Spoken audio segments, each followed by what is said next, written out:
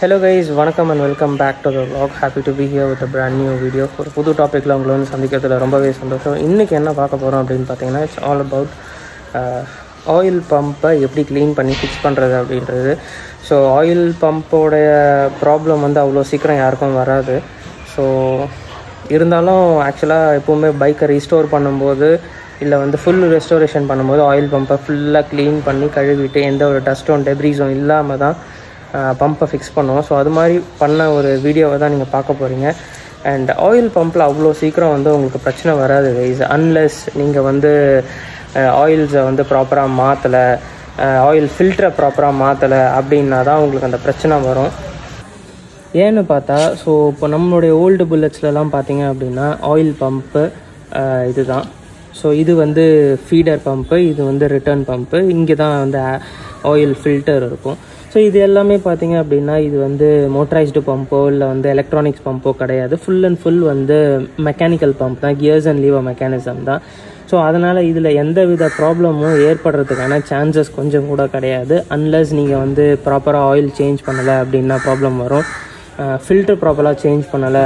அதாவது ரெகுலராக மூவாயிரம் கிலோமீட்டருக்கு ஒரு தடவை ஃபில்டர் மாற்றலை அப்படின்னா உங்களுக்கு பிரச்சனை வரதுக்கான சான்சஸ் இருக்குது ஏன்னா இது எல்லாமே பார்த்தீங்க அப்படின்னா ஃப்ரிக்ஷன் பேஸ்டு ஒர்க்கிங் மெக்கானிசம் அதாவது ஃப்ரிக்ஷன் பேஸ்டு பிரின்சிபல் உராய்வு தன்மையையும் கியர்ஸ் அண்ட் லீவர்ஸ் அதாவது புள்ளி செயின் கியர்ஸ் அது மாதிரியான மெக்கானிசமில் ஒர்க் பண்ணுற ஒரு டைப் ஆஃப் பம்ப்பு தான். கிராங்கோடைய மூமெண்ட்டில் இந்த இருக்கிற ஸ்பிண்டில் மூவ் ஆகி அந்த ஒரு பேசிக் பிரின்சிபலில் தான் ஒர்க் ஆகும். ஸோ அதனால் ஆயிலை ப்ராப்பராக சேஞ்ச் பண்ணிவிடுங்க ஃபில்டரையும் ப்ராப்பராக சேஞ்ச் பண்ணிவிடுங்க இந்த மாதிரி ப்ராப்பராக சேஞ்ச் பண்ணாலே உங்களுக்கு இந்த பம்பில் எந்த ஒரு ப்ராப்ளமும் வராது. இன்கேஸ் நீங்கள் வந்துச்சு அப்படின்னா அது அவ்வளோ சீக்கிரமும் உங்களால் நோட்டீஸ் பண்ணவும் முடியாது. அன்லஸ் யார் டெக்கி காய் ஆர் மெக்கானிக்கல் கை உங்களுக்கு ஒரு மெக்கானிக்ஸை பற்றி புரிஞ்சிருக்கு அப்படின்ற வரைக்கும் உங்களால் அதை நோட்டீஸ் பண்ண முடியாது. ஸோ தட்ஸ் ஆல் எப்படி க்ளீன் பண்ணி ஃபிக்ஸ் பண்ணுறது அப்படின்றத பார்த்துடலாம். தயவு செஞ்சு நீங்களே ட்ரை பண்ணாதீங்க. ஏன்னா வந்து uh, ஆயில் பம்பாக இருக்கட்டும் இல்லை வந்து ஆயில் ஃபில்டராக இருக்கட்டும் எல்லாமே வந்து டைமிங் கேஸ் கூட கனெக்ட் ஆகிருக்கு ஸோ டைமிங் கேஸ் இதோட முடிஞ்சிடும் டைமிங் கேஸ் இதோடு முடிஞ்சிடும் இது பார்த்தீங்க அப்படின்னா இது செப்பரேட்டாக இருக்கிறது. இருங்க காட்டுறேன் தெரியுதுங்களா?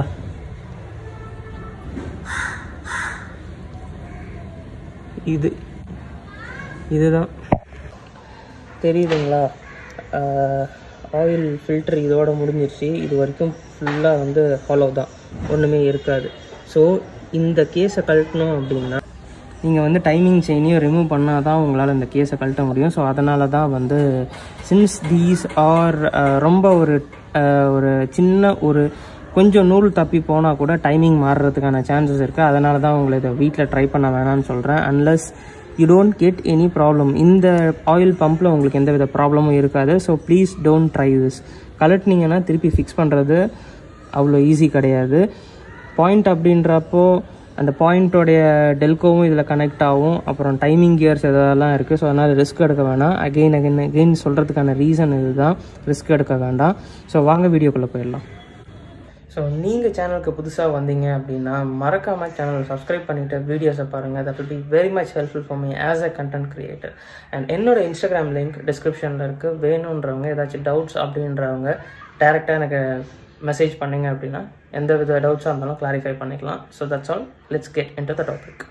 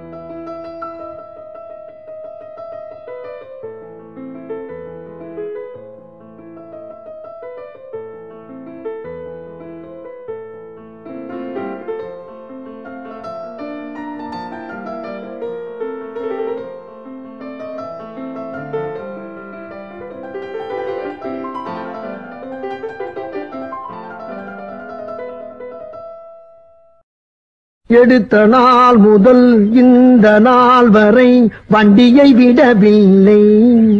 வண்டியை விடாம நாள் கணக்கா சுத்திட்டு இருக்கா? என்ன ராமலிங்கம் ஆலைய பார்க்க முடியல எப்படி இருக்க? வரட்டா.